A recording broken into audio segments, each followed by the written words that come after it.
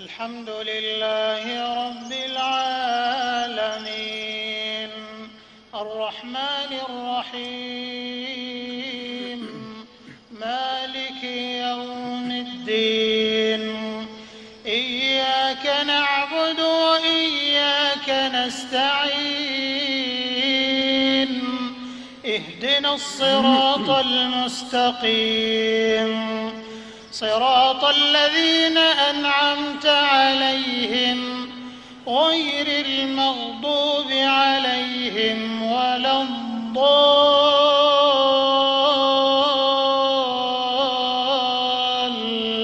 الضالين آمين Assalamualaikum koma. Koma apa khabar?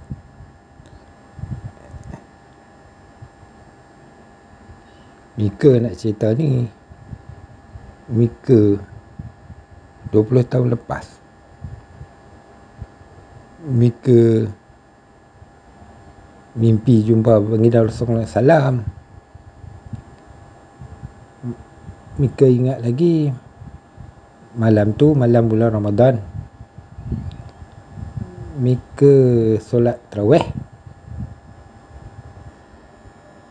Mika baca surah. Al-Ikhlas banyak kali. Dekat masjid. Lepas tu Mika mimpi jumpa baginda Rasulullah SAW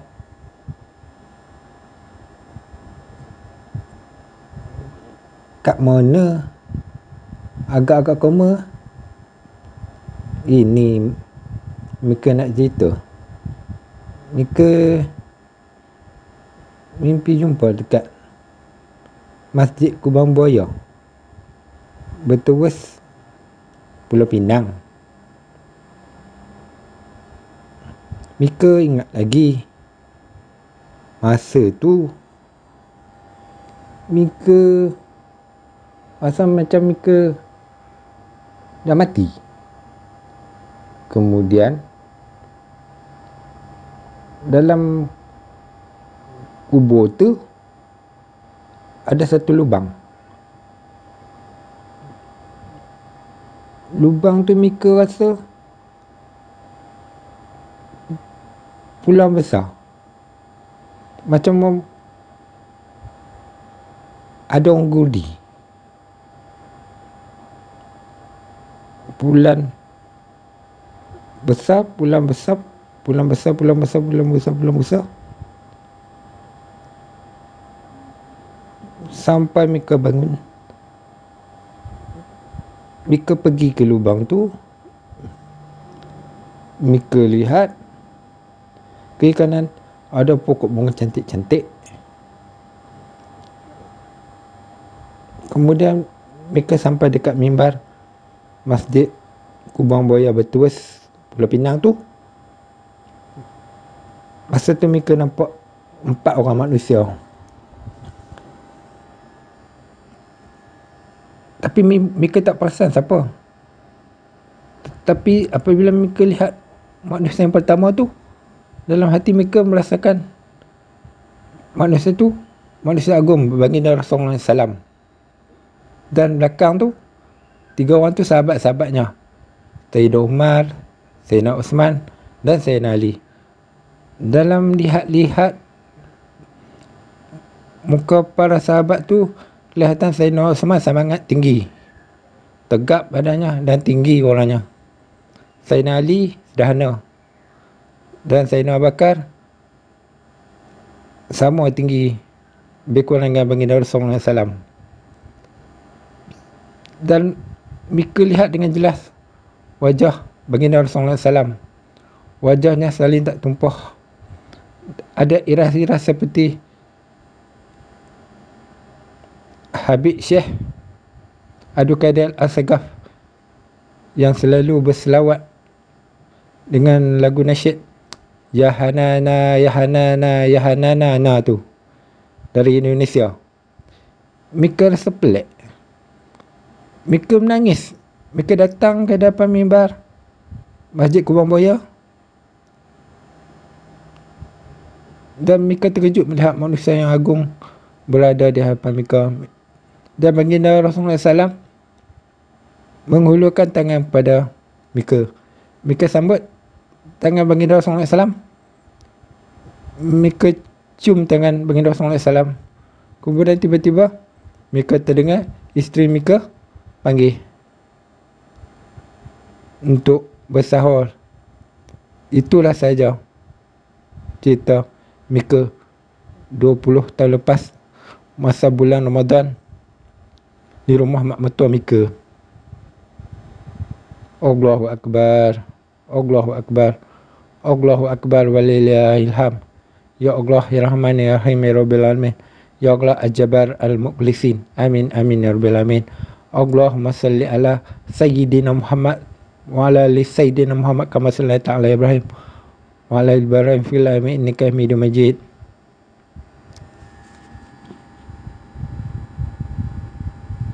بسم الله الرحمن الرحيم الرحمن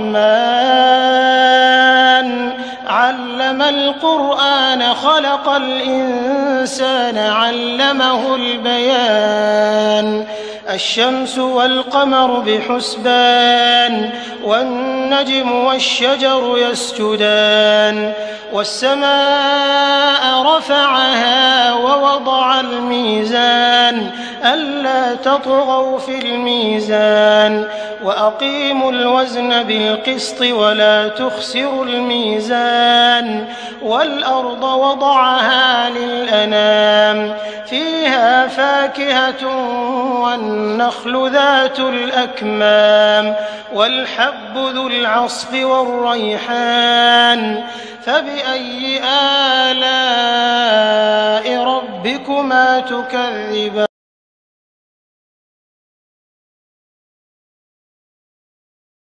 yang berasal dari negeri Kelantan. Namun, seniman ini seringkali mewarnai dunia perfilman dan terkenal dengan gaya bahasanya yang indah serta tutur katanya yang lembut. Beliau adalah seniman Eddie Osmera atau nama sebenarnya Sheikh Osman Sheikh Ibrahim. Eddie Osmera dilahirkan pada tahun 1943 di Kampung Bunut Payung, Kota Baru, Kelantan. Bapanya merupakan seorang peniaga batu permata yang berbangsa Turki manakala ibunya pula berketurunan Melayu. Beliau telah kehilangan ibu semenjak dari kecil lagi. Jika dilihat aksinya dalam setiap persembahan dalam dunia lakonan, beliau berada di kelas yang tersendiri yang meletakkannya sebagai seorang pelakon yang berkaliber. Ini kerana jika dilihat kebanyakan filem lakonannya seolah-olah menggambarkan kepribadian yang sebenar. Eddie Osmera dilihat bukan sahaja menumpukan kepada kerjaya lakonannya semata-mata tetapi beliau juga lebih menumpukan kepada soal agama dan ibadahnya terutama ketika di saat-saat akhir hayatnya. Seniman ini dilihat mempunyai raut wajah yang agak serius namun di kalangan rakan-rakannya beliau lebih dikenali sebagai pemuda yang agak pendiam sehinggakan apabila bertemu dengan orang ramai beliau memang tidak banyak bercakap tetapi beliau juga amat peramah dengan orang lain. Bagi sesiapa yang pernah menemuinya, pasti dapat melihat perilakunya yang amat sopan dan tutur katanya yang teratur sama seperti di dalam filem.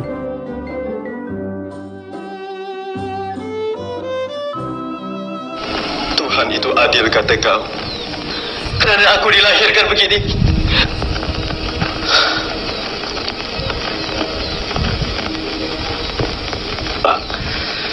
Sungguh pun abang dilahirkan begini. Abang tak harus merasa rendah diri dan berputus asa. Mungkin abang ada sesuatu keistimewaan yang tak ada pada diri orang lain. Beliau memulakan kerjayanya dalam bidang seni lakonan ini bermula pada tahun 1964 dengan membintangi filem Panglima Besi arahan Allahyarham M. Amin.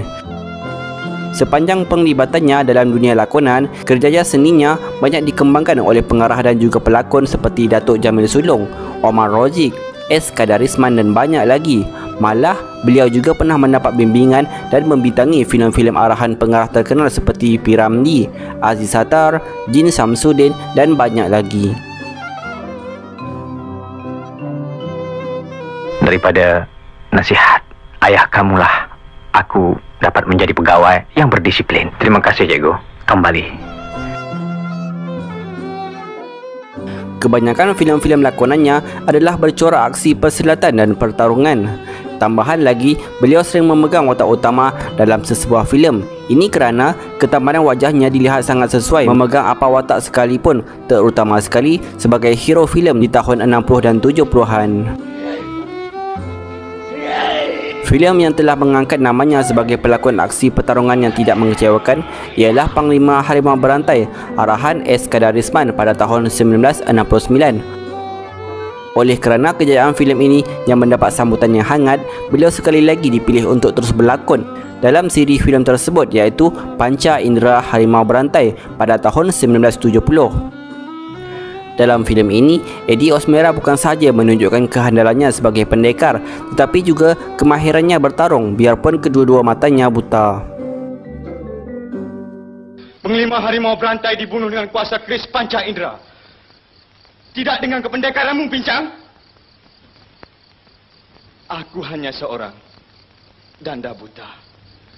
Tak sanggupkah kau menentang aku? Maukah kau disebut pendekar Dayus? Baik. Aku tentang kau dengan tidak menggunakan kekuasaan keris ini. Hish, hish, hish, hish. Jangan khawatir. Kulitmu tak luka. Hanya bajumu saja pincang.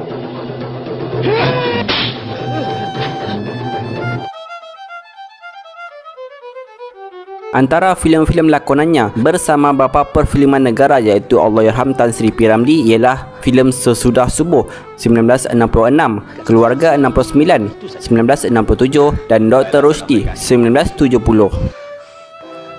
Walau bagaimanapun, pengarah Allahyarham S. Kadarisman dan Omar Roji adalah orang yang banyak menggilap bakatnya di layar perak. Antara filem lain di bawah arahan S. Kadarisman ialah Kembang Layu 1970, Kudrat 1971, Hutang Darah 1972 dan Cengkaman Maut 1972. Manakala bersama Omar Rojik pula adalah filem Keranda Jingga 1969, Tuah Badan 1970 dan Semerah Cindai 1973.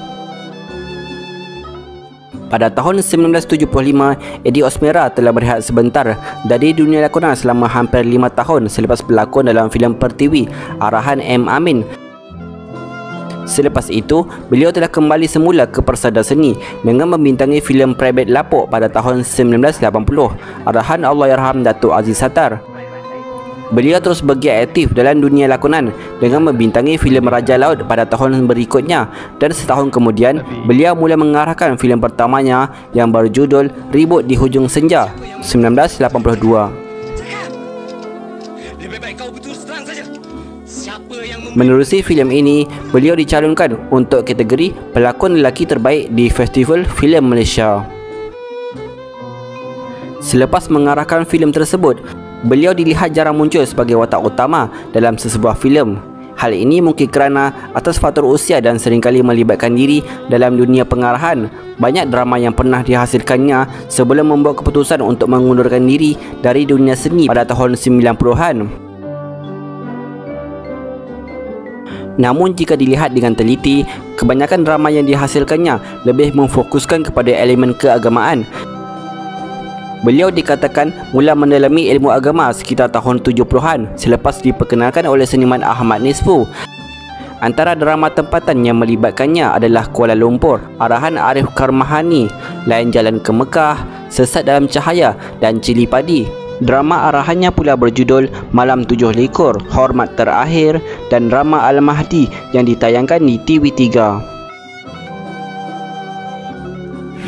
Cuma ada terdapat di dalam beberapa hadis Rasulullah sallallahu alaihi wasallam yang menerangkan orang yang bergelar Imam Mahdi itu adalah keturunan ahli bait. Yakni keturunan Rasulullah sallallahu alaihi wasallam melalui Sayyidah Fatimah. Bangsa Arab. Bukan orang Melayu macam kita Eddie Osmera dikatakan tidak pernah berkahwin sejak dari masa mudanya dan tinggal bersama abangnya Syekh Ahmad Ibrahim 64 tahun. Ini mungkin kerana beliau banyak menghabiskan masanya dengan menumpukan soal agama dan ibadat. Malah di akhir hayatnya, beliau sudah tidak banyak berlakon lagi kerana mungkin telah datangnya kesedaran agama yang amat mendalam sehingga kan di depan rumahnya diletakkan dua batu nisan semata-mata mengingatkan beliau tentang kematian. Di samping itu, Eddie Osmera juga aktif dalam kegiatan dakwah sepanjang bergelar anak seni. Inilah matlamat hidup seorang insan seni yang bergelar pelakon sebagai pelakon yang bukan sahaja menumpukan kepada kerja lakonannya tetapi lebih dari itu, beliau juga lebih menumpukan kepada hal-hal keagamaan dan ibadat. Maka hal inilah yang berlaku ketika dia di saat-saat akhir hayatnya.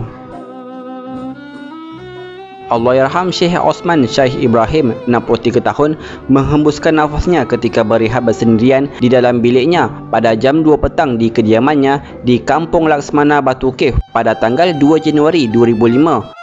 Allahyarham meninggal dunia kerana sakit jantung dua minggu selepas dibenarkan keluar dari Institut Jantung Negara IJN Kuala Lumpur selepas sebulan menerima rawatan di institut berkenaan. Jenazah Allahyarham disembahyangkan di kediamannya sebelum dikebumikan di tanah perkuburan Islam, Sungai Tua Batu Cave, kira-kira jam 7 malam. Antara rakan artis yang menziarahi jenazah di kediamannya ialah pengarah filem Datuk Yusuf Aslam dan Yusuf Kelana, pelakon M. Rajoli serta wartawan veteran Aimi Jar. Semoga Allah menjujuri rahmat ke atas rohnya. Al-Fatihah. Ya Allah, palingkanlah dan pindahkanlah hati anakku hakiki dan kawan-kawannya daripada kesesatan kepada kebenaran yang mutlak. Amin. Ya Rabbal Alamin. Sesungguhnya perintahmu ya Allah lebih cepat lagi daripada kelipan mata. Amin. يا رب العالمين. يا سميع الصوت يا سميع الصوت